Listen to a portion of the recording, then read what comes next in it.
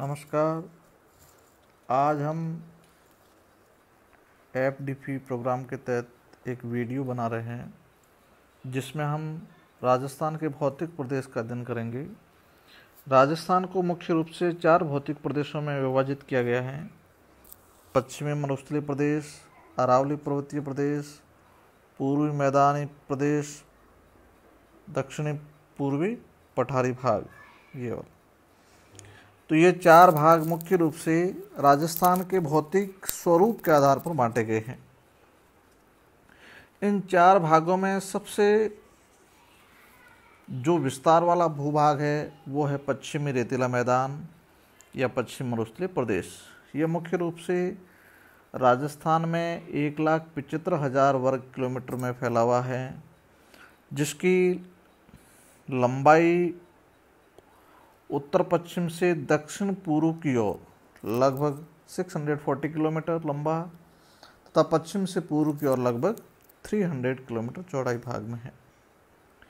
इस भाग में राजनीतिक रूप से यदि देखा जाए तो इसमें मुख्य रूप से गंगानगर, हनुमानगढ़, बीकानेर, चूरू, नागौर, जोधपुर, जैसलमेर, बाड़मेर, पाली, सिरोही, जालौर, सीकर व झुंझुनू ज़िले आते हैं। अध्ययन की दृष्टि से इसको भी कई उप इकाइयों में बांटा जा सकता है। रेतीला शुष्क मैदान, अर्ध शुष्क मैदान। अब रेतीले शुष्क मैदान को भी दो भागों में बांट सकते हैं। मरुस्थली, ये वाला है, मरुस्थली भाग। दूसरा है बालू का स्तूप मुक्त प्रदेश सैंड्यून्स फ्री ट्रैक। अब इसके अलावा अर्ध शुष्क मैदान या राजस्थान बांगड़ ये राजस्थान बांगड़ वाला भाग, जिसमें Luni basin Loni basin, Shekhawati region, Nagaur, Nagauriya plains and Ghaggar plains ये घग्गर प्लेन अब इसके अलावा दूसरा प्रमुख प्रदेश है, जो है अरावली पर्वतीय प्रदेश। अरावली पर्वतीय प्रदेश राजस्थान में मुख्य रूप से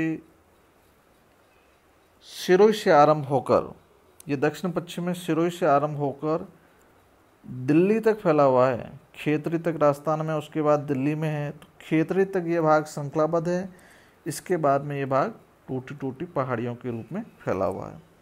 इस अरावली की लंबाई 692 किलोमीटर है, जबकि ये राजस्थान में 550 किलोमीटर में फैली हुई है।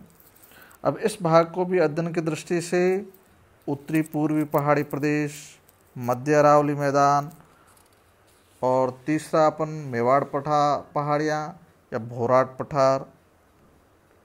ये भोराट वाला प्लेट्यू भोराट पठार और लास्ट में आपकी आबू ब्लॉक, ये आबू पर्वत।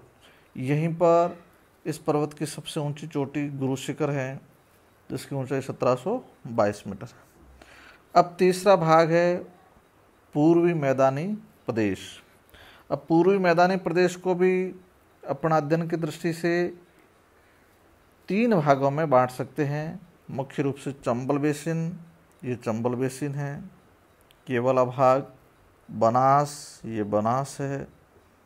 और तीसरा है मध्य Mahi basin, middle Mahi plain. यह भाग मुख्य रूप से राजस्थान के तेईस दशमलव तीन प्रतिशत भूभाग पर फैला हुआ है। इसके अलावा सबसे अंतिम जो भौतिक प्रदेश है जिसका नाम है दक्षिणी पूर्वी पठारी प्रदेश, या जिसको हाड़ौती पठार भी कहा जाता है। ये राजस्थान के कुल भूभाग के नौ दशमलव छः प्रतिशत पर फैला हुआ है। ये वाला। अब इसको भी मुख्य रूप से कुछ लघु इकाइयों बांट सकते हैं, जैसे विंध्यन कगार भूमि और दक्षिण लावा पठा। धन्यवाद।